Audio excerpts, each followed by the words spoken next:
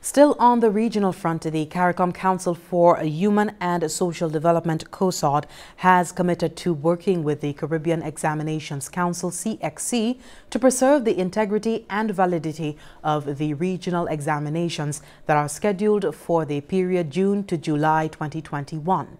Tusenkind English Francis of CARICOM News Time reports. The COHSOD met on February 26th and March 1st and reached several agreements on the administration of the 2021 regional examinations, including that the examinations will be held in their original formats. That is, the Caribbean Advanced Proficiency Examination CAPE, the Caribbean Secondary Education Certificate CSEC, papers 1 and 2 and 3 for private candidates, and for the Caribbean Certificate of Secondary Level Competence that is CCLSC, papers 1 and 2. Chairman of the COHSOD, the Honorable Jeffrey Lloyd, Minister of Education of the Bahamas, told a post-meeting media briefing that after careful analysis and with consideration for the well-being of the students, the COHSOD also extended the deadline by which students should signal their intention to defer the sitting of the exams. Candidates now have until the 1st of May to do so. The COHSOD expresses its appreciation to the CXC for its efforts to ensure the smooth transition and matriculation of the region's youth to the world of work and post-secondary or tertiary education. Recognizing the impact of 19 pandemic on equitable access and the continuity of learning, in their deliberations made every effort to advocate for concessions to be provided.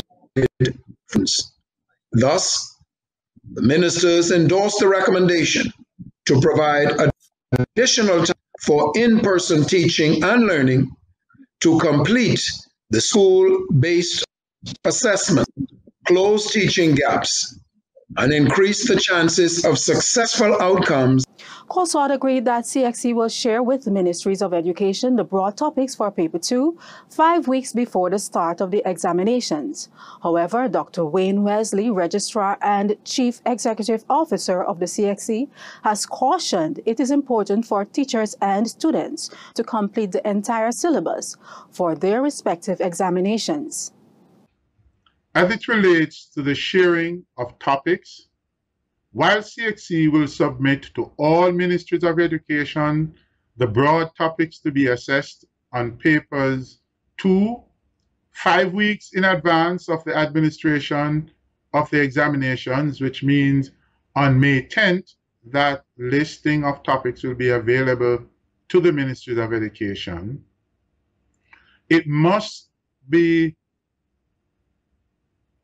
said and indicated all candidates must be reminded that all topics are covered in paper one for all subjects. In addition, there are certain subjects for which the details are not readily specifically available in the syllabus. We will make sure that information is provided. Of interest to young people seeking entrance into the University of the West Indies, the UWI, the university will consider their Year 1 CAPE results. The COHSOD agreed to extend the matriculation waiver UWI introduced in 2020 to allow it to consider CAPE candidates for admission based on Year 1 results, given that the Year 2 results were released after the start of the academic year. Minister Lloyd said the Caribbean primary exit assessment is scheduled for the 27th and 28th of May, and the results can be expected by the 15th of June.